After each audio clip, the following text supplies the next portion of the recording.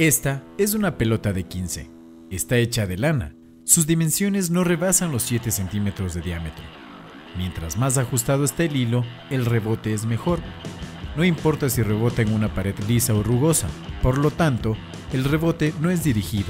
La pelota puede tomar cualquier dirección y cualquier velocidad.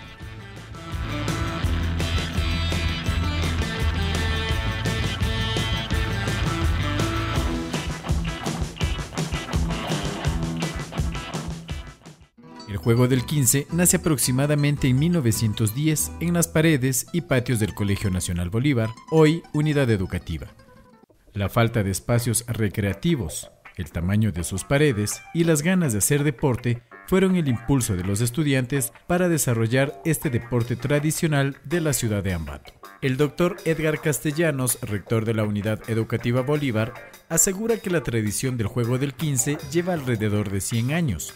Se lo realiza entre 2, 3 o más jugadores para que sea más divertido. El juego del 15 en el Bolívar es un juego tradicional de más de quizás 100 años.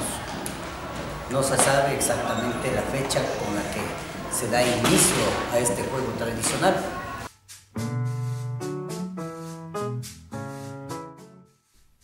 El juego del 15 consiste en golpear una pelota de lana con la mano con el objetivo de hacerla rebotar en una pared.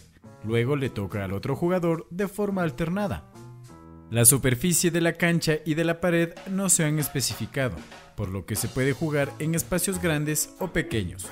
Se puede jugar en equipos desde 1 hasta 4 integrantes.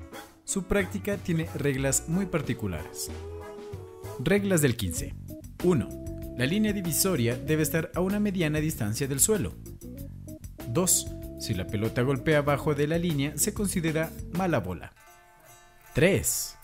Una mala bola es punto para el adversario. En el 15 se empieza a contar desde el 6. El primer punto se lo conoce como 6 a 5. El que pierde el punto saca la próxima bola. 4. Luego de hacer 10 puntos, si el jugador o los equipos empatan a 11, 12, 13 o 14, el marcador regresa a 10. 5. La pelota solo debe botar en una ocasión. Si da dos o más botes, se considera mala bola. 6. Si el adversario toca la pelota con su cuerpo o interfiere en la trayectoria de esta con la pared, es quemado y punto. 7.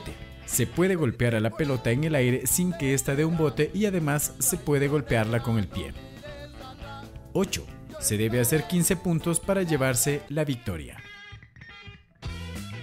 Al llegar al Centenario Bolívar, en su frontón de juego se encontraba la selección de 15 del colegio y su entrenador Luis Vasco, quien comentó sobre el campeonato nacional de este deporte llevado a cabo en las canchas del colegio.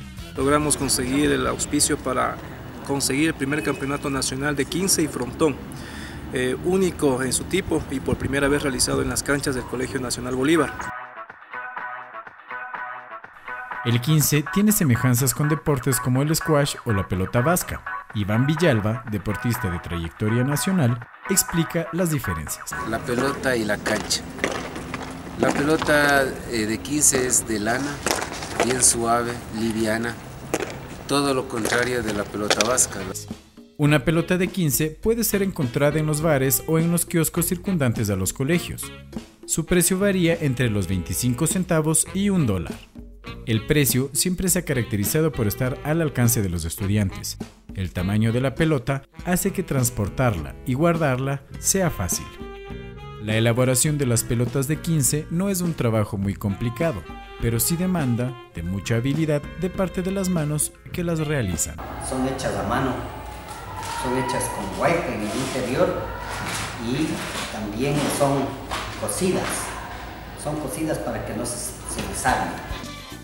Daniel Manovanda, estudiante del Colegio Bolívar, juega 15 desde que ingresó a la institución, aunque conoció este deporte antes de ingresar al colegio.